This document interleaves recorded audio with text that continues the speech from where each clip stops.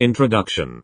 A while ago, in a galaxy far, far away, called Kirkland, I went to a bookstore and sat down with a notebook I had taken. I then took out my notebook and my stationery, looking very organized while doing so. Now, it was time for me to sit there, staring into my blank page, wondering what happened to the, oh, this is gonna be so productive, I'm gonna sit there and write all these things. Eventually, nothing I had planned came to mind.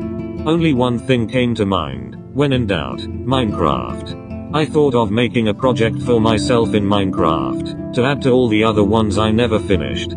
This project, ah. initially called Feudcraft, was to build a highly sanitized version of a late-stage medieval city, along with its surrounding villages. To do this, I would need to design a mod, to change the behavior of villagers and add some new items.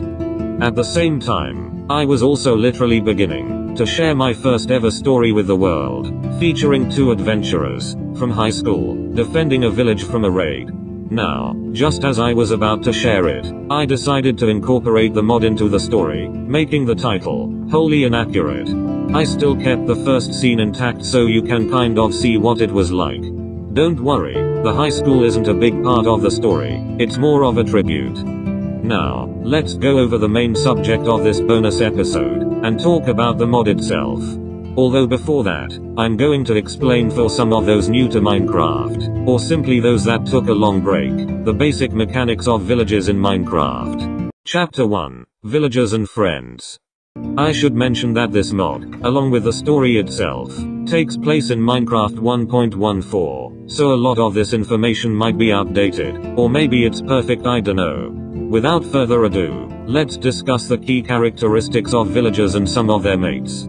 A villager is a passive mob, a type of mob that doesn't attack the player under any conditions. Other mob types include neutral and hostile. They spawn naturally in five biomes desert, plains, savanna, snowy tundra, and taiga. That being said, they can also be spawned by the player in any biome. Seven of these biomes, including the ones mentioned before, along with jungle and swamp, have outfits that villagers spawn wearing. Although neutral, they can still interact with the player via trade. When trading, they can either buy something with, or sell something for, emeralds, the medium of exchange in the village economy.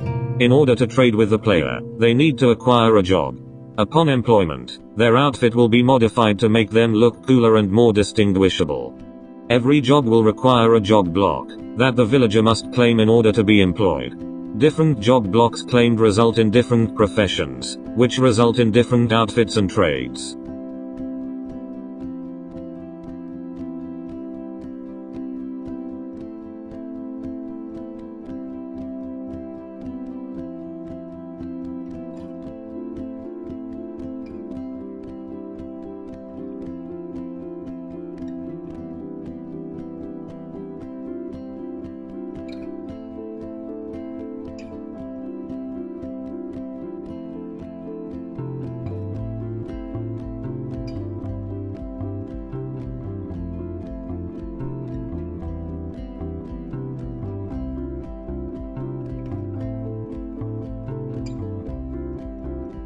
As the player trades with the villager, the villager will level up, unlocking new trades.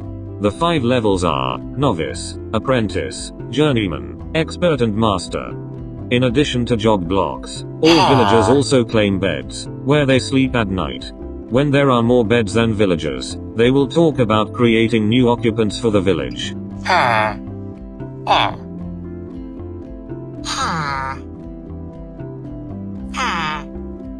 A village, to put it simply, is defined as being the area around a claimed bed and a bell. If they witness a villager dying, they will wait 3 minutes before.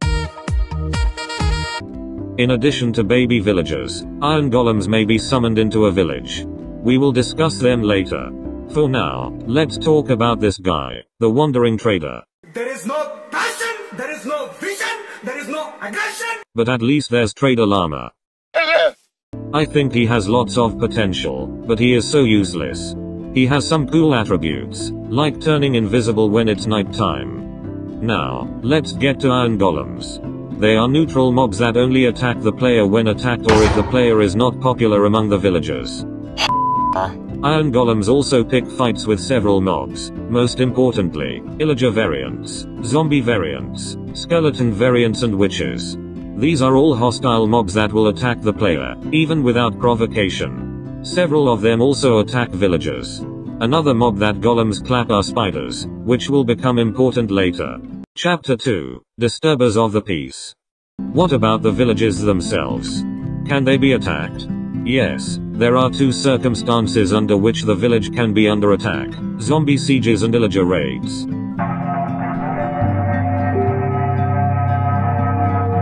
Additionally, the player can also attack the village, but I doubt anyone would ever do so. Let's now talk about the enemies in more details, then we'll get to the attacks. Firstly, zombies. A zombie is a hostile mob that is only active in the shade, as they burn during sunlight. They can't swim and if they are in deep water, will sink to the floor. Zombies have two other variants, husks and drowned. Husks are bigger zombies that don't burn in the sun. But also cannot swim, unlike drowned. Drowned are water zombies that can swim and even wield tridents, but also burn in daylight. Husks and zombies that are in the water for too long will drown and transform into zombies and drowned respectively. Secondly, illagers. Illager is a category given to many hostile mobs that all attack the village in what is called a raid. In the deep dark layer of the woodland mansion, spawn vindicators and evokers. Vindicators are quick and handy with an axe. Evokers use magic to attack or to summon little demons called vexes. Then, there is a pillager outpost, where spawn the pillagers, crossbow wielding outlaws. Every now and again, a captain will spawn. They may also spawn in illager patrols, always having a captain present. There is also another mob, which we will discuss during the next portion on attacks. 1. Zombie sieges. During a zombie siege, all zombie variants, including the little ones, will attack a village until daytime arrives. If a zombie gets a villager, the villager will become a zombie villager. But still retain their profession.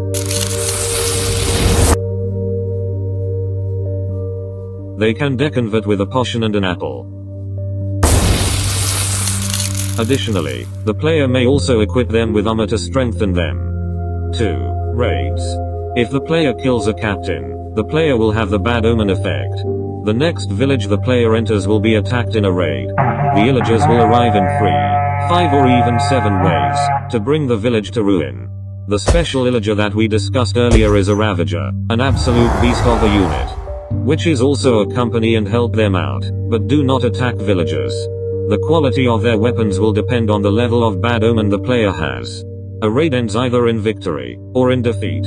If there's a victory, the villagers will name the player hero and launch fireworks. Otherwise, the illagers will celebrate theirs.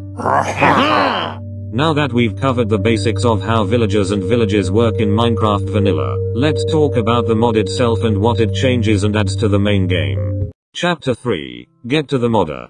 Since there are changes to a multitude of features, I will split this portion into a few sections, each detailing a particular feature. Section A. Wondering what to do with this guy. Uh-huh. The wandering trader can now interact with the player, offering them quests, such as attacking a woodland mansion or ocean monument. If the player respects the trader's llamas, they can form a friendship, and the wanderer will join them on these missions. If he joins the missions, he can provide a health boost to the player, and his llamas can be used as additional storage. During a mission, if a player puts down a bed, the trader will claim it and stay around it. Since they are wandering, traders, they will wander around if the player is too far away.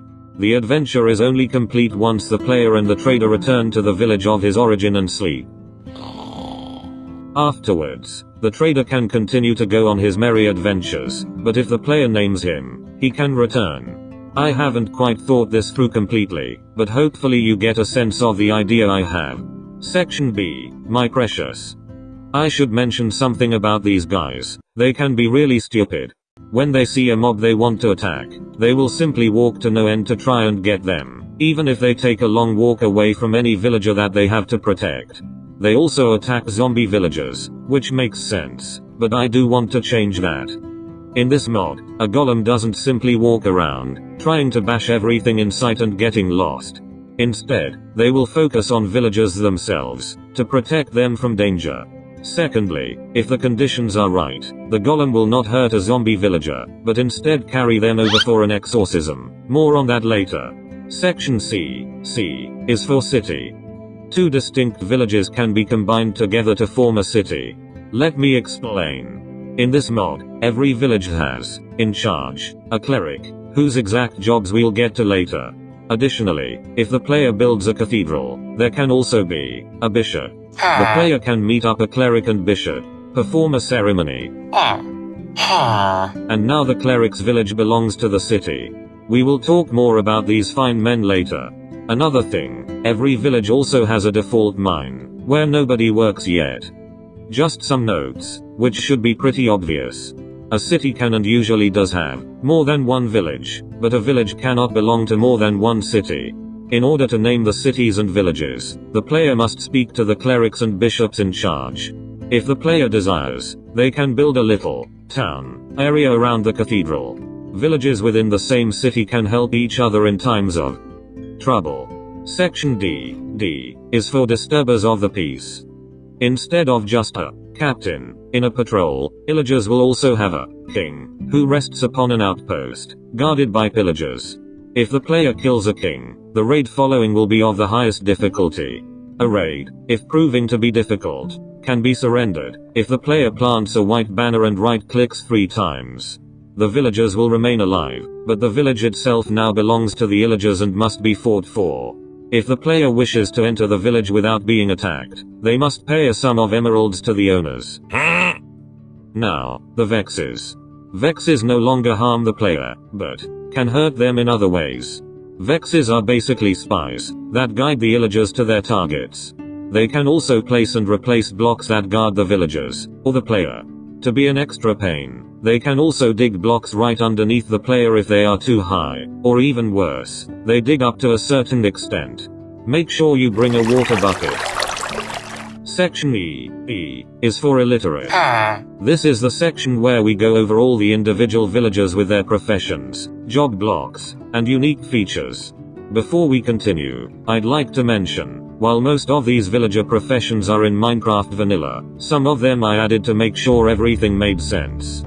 Another thing, before we get to the individual villagers, there are some changes I made to all the villagers, so let's discuss those right now. General. In addition to a bed and job block, villagers will now also claim a chest as their own. Ah. If the player loots the chest, they will receive wanted status until they throw it out. The only villager that does not claim a chest as his own is the fisherman. Ah. Some jobs also require the villager to claim a crafting table, which can be shared with others. The trades that a villager has will not depend on his experience, but only on his profession, and the resources that he has access to. They can trade either with the player, or with each other to earn emeralds or buy commodities. Villagers are now affected by hunger and taste, fashion taste. As such, every villager will buy food, mainly bread from default farmers, but can randomly buy something else for fun. For fashion, each villager will buy clothing from the leatherworker. The clothes themselves, do wear off as time passes. In fact, every 60 seconds, a minute passes. Ah. Every seventh day, they attend church, where the cleric leads a prayer. Every fourth, seventh, or 28th day, the villagers pay 10% of their income in tithing. If the village is in a city, the librarian will take a census, recording villagers, jobs and beds. The cleric then takes the census and tithe to the bishop. Some villagers only work if their job is in demand. Otherwise they spend their time babysitting or riding on golems, or even playing games with each other. If an unemployed villager lives in a city, they will look to tame horses. In fact, some jobs are only available once the village belongs to a city. Now, let's go over the jobs one by one. Individual. When a villager claims both a compost and a crafting table, he becomes a farmer. A default farmer will farm wheat with his hands and sell the bread. They can, on special occasions, sell the wheat itself. If the player is a lord, they can assign the farmer into farming a specific crop of their choice. The farmers will then sell the produce of said crop. If the village contains a butcher, the farmers can be specialized into farming an animal. In this case, they will buy whatever the animal's kinky food is. This is why some farmers will sell the wheat. Sheep can also be cared for, but not by farmers. They sell the excess animals to the butcher. When a villager claims both a barrel and a crafting table, he becomes a fisherman. Fishermen buy logs, planks and sticks from lumberjacks and string from hunters. They combine these to make fishing rods, which they fishy use to fish for fishy fish. The fish they sell to butchers. When they run out of sticks, they convert from planks and then from logs. Fishermen also raise the odds of a trader spawning in the village, since they are good mates. When a villager claims a campfire, or something, I nearly wrote vampire, he becomes a hunter. Hunters buy spears from weaponsmiths and bows and arrows from fletchers. They will use these to hunt for spiders and untamed wolves that might harm sheep. I should mention, spiders in this mod also drop leather. The leather and string they collect, they sell to leatherworkers and fishermen respectively. If possible, they will buy camouflage outfits from the leatherworker. When a villager claims a sawmill, he becomes a lumberjack. Lumberjacks buy axes from toolsmiths, which they use to chop down and replace trees of a particular type.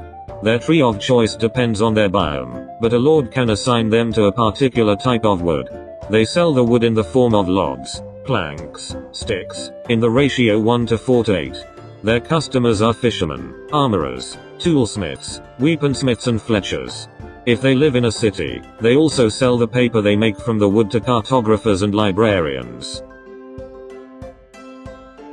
When a villager claims a furnace, he becomes a miner, not in that way.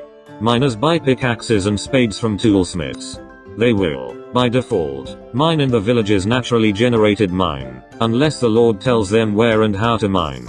If they come across any gravel they immediately convert it into flint. Their trades are complex. They sell flint to fletchers, cobble to toolsmiths and weaponsmiths, also iron, which they sell to armorers and shepherds as well. Finally, they sell the cobble, along with polished forms of andesite, granite and diorite, to the mason.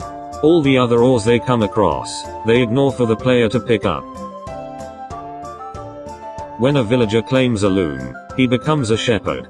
Shepherds buy wheat from farmers and iron from miners.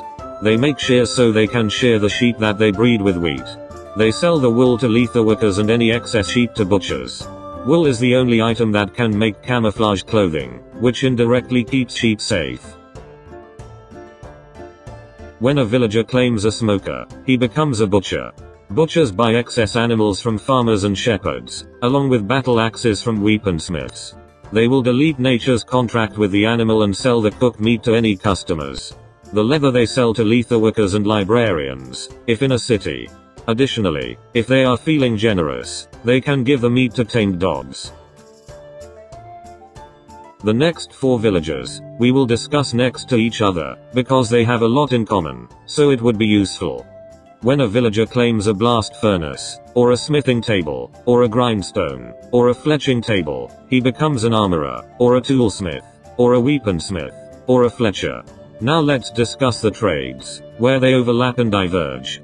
Also, there is a special feature that all of them have, hence me grouping them together. Let's begin.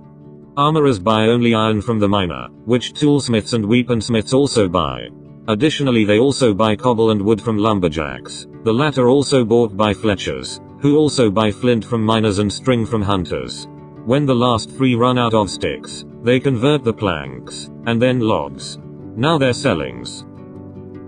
Armorers sell armor and shields to knights, who also buy swords from weaponsmiths, who further sell battle axes to butchers and spears to hunters, who also buy bows and arrows from fletchers. When presented by the player with the materials required, they can offer a discount, or do a sale, unless the mineral in question only amounts to one in number. They can also combine enchantments for a few emeralds, without costing the player any levels. When a villager claims a cauldron, he becomes a leatherworker. Leatherworkers buy, well, leather, from butchers and hunters, along with wool from shepherds. They can create clothing for the entire village. Additionally, hunters can also buy a special camouflage outfit, which strengthens their hunting. Just a note, hunters do also buy regular clothes, since they don't always want to be camouflaged. They also sell saddles and horse outfits to knights. To close this little part off, when a villager claims a Stonecutter, he becomes a mason. Masons buy stone varieties from miners and sell the end products of stairs, slabs, walls in the ratio 2 to 3 to 3. The villagers so far have been peasants and handicraftsmen, of which only the mason does not trade with another villager. The next few will consist of city employees, who generally do not trade, but instead earn their income through a service. When a villager claims a brewing stand, he becomes a cleric. Clerics, along with farmers, must be present for a place to be a village, since they are the only ones that can summon emeralds ex nihilo. They are responsible for ringing the bell every seventh day for prayers. If there is any villager without money, clerics buy food for them. Also, if there is a cleric in a village, no other villager will claim a brewing stand, since there can only be one. If the village is in a city, the cleric takes the census from the librarian to the bishop, accompanied by knights. If paid by the player, they can rename the village. They do sell one item, but only to players, bells. When a cleric has a special meetup with a bishop, his village becomes part of the latter's city. In fact, let's go there. When a villager claims a cathedra, he becomes a bishop. Technically speaking, any space around a cathedra can be a cathedral, but come on, be creative, heretic. If the player builds a golem in front of a bishop, they can achieve the title of Lord. Lords have certain privileges that we discussed earlier, and also receive a portion of the tithe paid by villagers. Also have other abilities. They can cure zombie villagers, restoring their human form, and they can limit the influence of vexes in a raid. Additionally, the villagers that we will discuss from now on, can only be unlocked in a particular city. Just to be clear, when a villager leaves the city, they lose their job, so don't try that here. When a villager claims a cartography table, he becomes a cartographer. Cartographers buy paper from lumberjacks, which they use to make maps to keep track of the city and its villages. The player can buy special maps from them, like an ocean monument map or woodland mansion map for quests. When a villager claims a lectern, he becomes a librarian. Librarians buy paper from lumberjacks and leather from butchers and hunters. They combine them to make books, which they use to keep record of the city. This includes the census and events of the villages. If the player pays them emeralds, they can combine two enchanted books at no experience cost to the player. Finally, when a villager claims an untamed horse, he becomes a knight. Knights buy armor and shields from armorers and swords from weaponsmiths. They also buy saddle and horse armor from leatherworkers for their horses. They protect the village from threats, including a player with wanted status. In case you're wondering, a golem will also attack a player with wanted status, so don't think about it. Conclusion. Before we end the video and get back to the main story, I would like to mention a couple of things. First, as you can tell, I haven't fully worked out the logistics of the mod, but just have a vague idea so far. If there are any updates or anything I missed, I will put those in the description, along with the timestamps. Second, I probably won't be able to make the mod, since I don't know how to make mods and am doing a few other things at the moment. That being said, I will be doing another bonus episode for this season, a Q&A, so feel free to leave your questions on this post.